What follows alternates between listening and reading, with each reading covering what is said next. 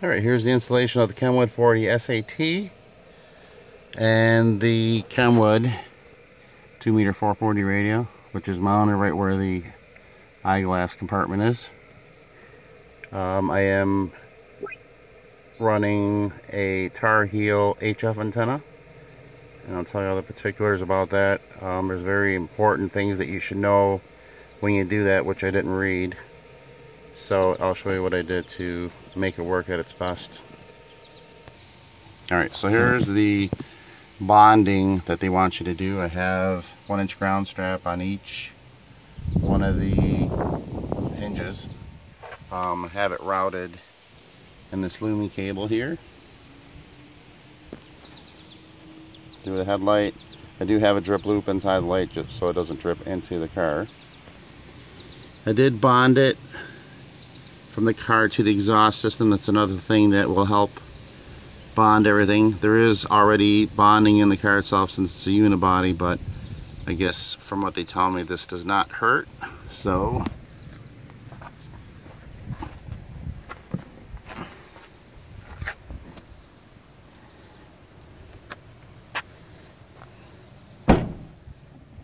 that's the K40 uh, I think it's the 400C Diamond. We call it K400, not K40. There it is, the Tarheel, baby Tarheel 2. 56 inch whip, powder coat black. Um, probably wondering what the scrunchie's about there. What I did is I marked all the bands. And if you see the little markings there, whenever that reaches to the bottom of that, which I can look out my back window, I'll be able to know that I'm right around where I should be. It's kind of a reference point. Um, I'll show you some more bonding tips there that they gave me. So I just want to show you the Maldol 2 meter antenna. Very nice. 2 meter 440. I did have a diamond that folded down, but I had a lot of issues because we're up north here and the salt really screwed it up. So um, I'm probably going to do another video of the mounting for the unit itself but right now it's just kind of sitting there so. Alright there's the bonding for the hood. Got that all done there. Got that all done there.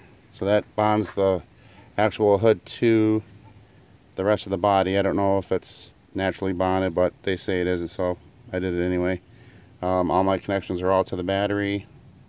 So um, I did have a problem originally where I didn't have any bonding, where I couldn't get it to uh, do a couple of the top of the bands. So after I did all this, this all works. Thanks to, uh, thanks to the people over at uh, Tarheel for the information.